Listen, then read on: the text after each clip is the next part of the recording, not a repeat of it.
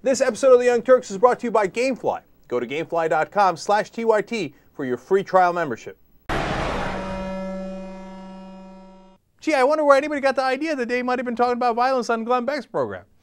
Now, when people did take uh, matters into their own hands and they did grab their guns, like the Holocaust shooter, well, Beck is going to turn around and blame the liberals for it. That's great. 1B. Well, this von Brunn's culture is a tribe of racist, anti-Jewish, uh, anti-Negro, anti-immigrant, everything. And therefore, he's a phenomenon of the left because racism right. is a form of collectivism. The right wing is individualist, believes in individual rights, freedom, the dignity of each individual life. But it's the left wing. You know, Hitler was National Socialism, right? How, how did, it's how a leftist it, phenomenon. How did it happen that this was, that you look at people who uh, are Nazis and you say that those are right wing? It, it doesn't make any sense. Well, there whatsoever. was the. no, Nazis weren't right wing. No, that doesn't make any sense. It, it turns out that the liberals were the ones that are racist. That's funny because when Martin Luther King was fighting, who was he fighting, Jerry? You remember if he was fighting liberals or conservatives? I can't, it's tough to re remember. When Hitler was fighting in Germany, was he fighting liberals or conservatives? It's hard to remember. No, he must have, since, he, since Hitler and the Nazis were all liberals, obviously they were against the conservatives in their country, right? You know, Steve Cohen said something today. I'm going to take a little time out to do it here, all right?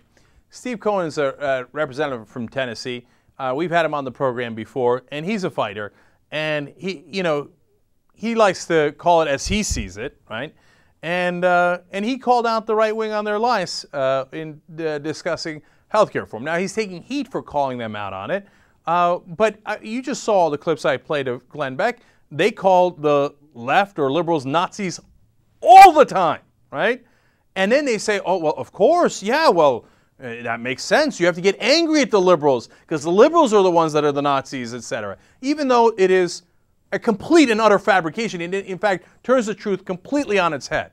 Now, Steve Cohen, when talking about health care, said this. Let's go to clip number five. The nonpartisan, bipartisan Congressional Budget Office says it's going to cost us $230 billion the first decade and 1.2 trillion thereafter. And they say, well, they can have their opinion. Those are facts. Those are nonpartisan facts of people we hire to give us the truth. And they don't like the truth, so they summarily dismiss it. They say it's a government takeover of health care. A big lie, just like Goebbels. You say it enough, you repeat the lie, you repeat the lie, you repeat the lie, and eventually people believe it. Like blood libel. That's the same kind of thing. The Germans said enough about the Jews, and the people believed it, and you had the Holocaust. Now, uh, of course, the right wing blogs are enraged. How dare he? We only get to call you Nazis, even though it's 100% the reverse of reality.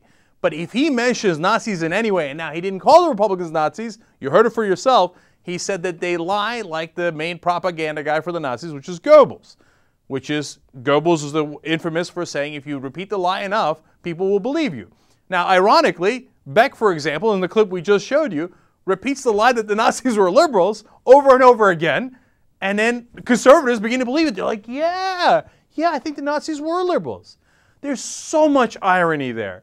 Because then they turn around and criticize Cohen for saying, how dare you ever compare uh, the Republicans to Nazis in any way, shape, or form. What? Only you get to do that, right? And he said blood libel. How could he possibly do this? This is so uncivil. Sarah Palin just said blood libel, and you defended her to the hilt. You thought it was the greatest thing that ever happened. So what happened?